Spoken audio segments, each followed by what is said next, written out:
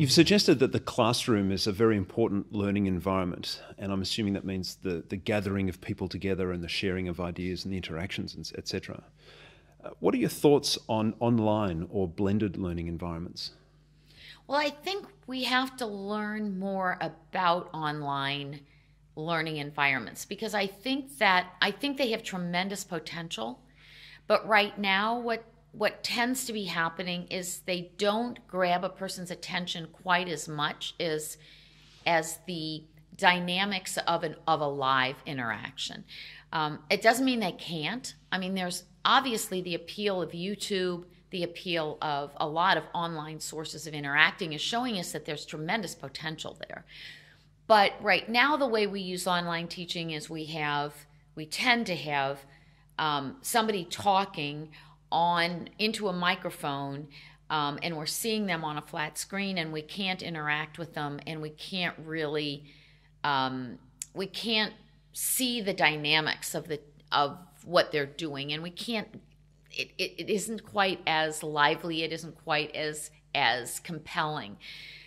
I think as we go more into virtual reality approaches and as we improve the ability to combine a face with the mm. content of what somebody's saying.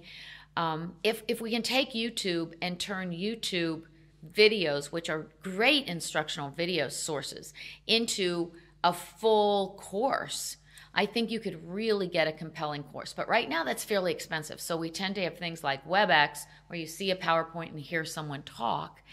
And it's all right. You can learn that way. We've been learning off of radio, we've been mm. learning off of TV, but it just it's harder to pay attention, it's harder to maintain attention and it doesn't have that same dynamic appeal, I think. But it sounds like there's certainly potential in developing these ideas. Is Without a doubt. Just a matter of time, I take it's it? a matter of time and it's a matter of new technology. I mean, I, I look at the iPad as just opening a whole new world of of interactive educational resources. I'm so glad you brought that up. I wanted to talk about that because there's a lot of talk about traditional types of textbooks. And uh, earlier this year, this is uh, this is March 2012. So earlier this year, Apple released their uh, their statement about their continuing involvement in education, and they released the uh, the iBooks Author application for the Mac, and uh, I think that was obviously in uh, well, in preparation for the release of the next generation iPad. And these textbooks offer a lot of interaction. Uh, these electronic textbooks, so they have quizzes built into them, and there's you know there's pinching and zooming and gestures, and it's a very lively experience.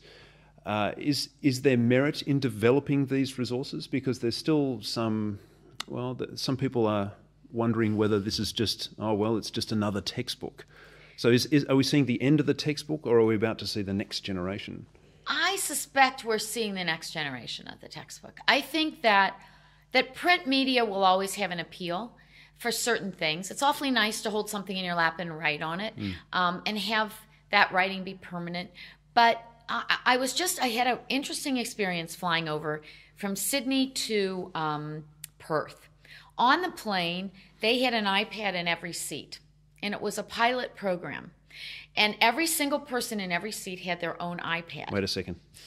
It was a pilot program. Yes. And you were on an airplane. Well, yeah, sorry. But yes, so it was just experimental. okay, good. All right.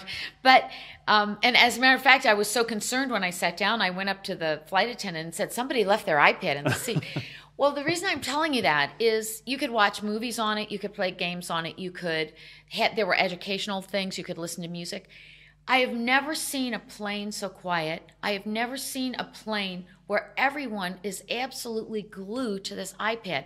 There's something about the iPad that's very compelling. And if something's very compelling, then if you can use it to teach, what you can do is have a very dynamic effect. It may be the novelty associated mm. with it, but it may be also something there something about the the tablet itself the way we use it the flexibility it has the way we can move from one kind of media to another that people love and if you love it you'll learn from it and if you learn from it then let's use it. I can see the change in your body language already. you're just you're getting excited just talking about it. Yes. Well, devices like iPads do create that very heavily focused attention. You said the plane was very very quiet. Uh, I guess one could say that it draws people in on themselves. do we need to find a balance though between being really focused and isolated, or uh, uh, do we need to actually make sure that we also interact? I mean, I, I, can imagine a plane with everyone just sitting there quietly looking, you know, at their iPads. I, I think that that's what worries people about technology. That technology, something like Facebook, for example, is is it actually bringing people together, or is it isolating people? My belief is that humans are social animals and that we will find ways to socialize. One great way is athletics. So you can have people that are glued to that iPad when they're on a plane. It's interesting, they can learn from it. But if there were a big football game next door as soon as they land they would put that ipad away mm. and they would go. If there were a party being held and their best friend was there they would drop that ipad and go. Not drop it perhaps but so i think that that we don't need to be afraid of technology. Technology just adds one more dimension to our lives. It makes life more interesting. But humans are social and we are going to find social outlets and i don't think we need to worry as much about technology as as people might be suggesting. I don't think it's going to create a society of automatons. Right. And one last thing, because I know we're running short on time, because I think it's another plane you have to catch. Should schools be concerned about students owning their technology in class and using their own devices, or is this something that we should just accept and encourage? I believe that we have to learn how to teach with this, not not teach ignoring technology. I think we need to we need some of our technological wizards, the uh, Steve Jobs of the world, to figure out ways. And that's what Apple has tried to do figure out ways that you can incorporate technology in the classroom to make the teacher more effective, not detract from the teacher. Mm. Right now, it detracts from the teacher. Right now, if I have an iPad, I'm going to be fiddling around with it and I'm not going to listen to the teacher.